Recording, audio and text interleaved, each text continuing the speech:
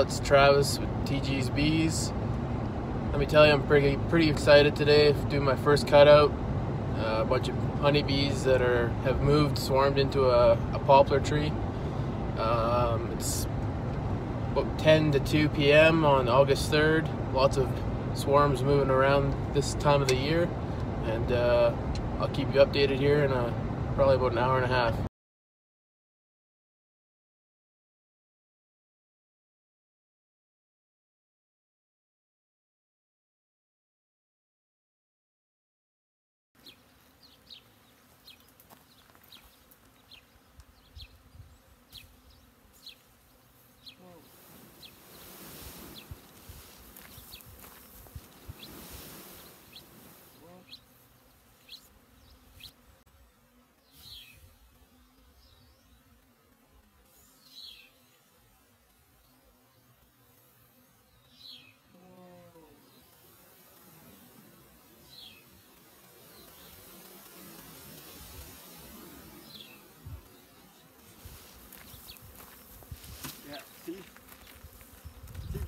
Get underneath there and uh, you get lots of blood stimulation out of it.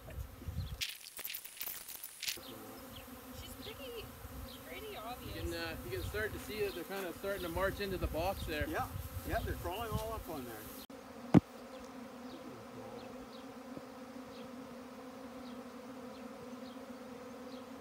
So in other words, when you don't have, you don't get it set up and you don't have enough room in the hive to take off.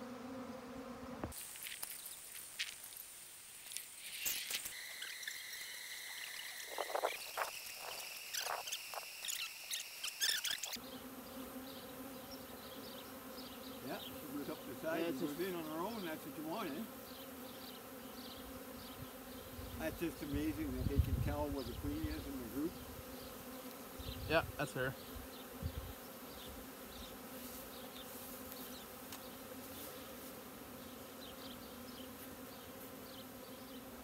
So we, you just put her in the box and the rest will come in. Yeah. I'll show you guys if you want to see quick.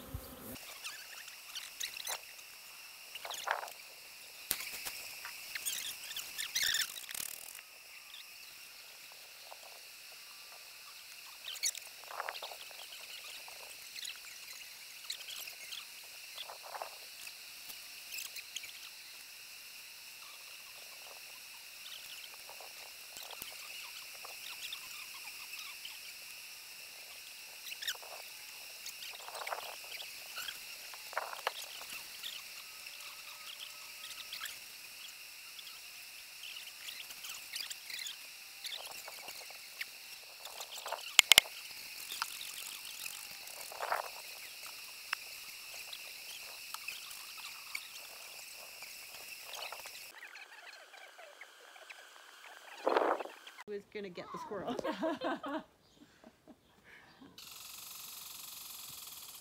my gosh, there's so many of them because they get in and they make a mess. I mean, they destroy. yeah.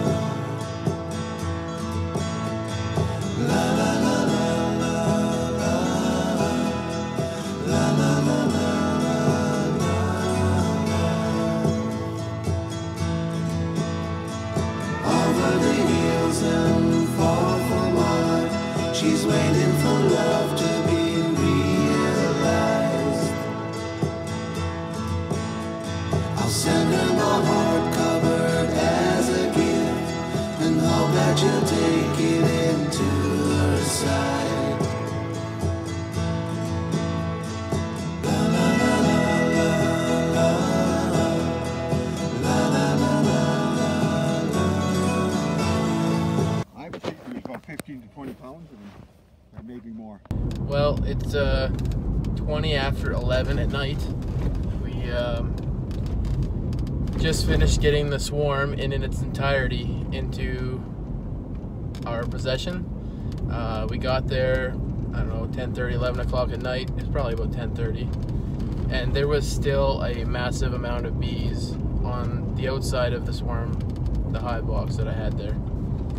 Uh, so, turns out we got to use the bee vacuum after all. Um, what a beauty that was.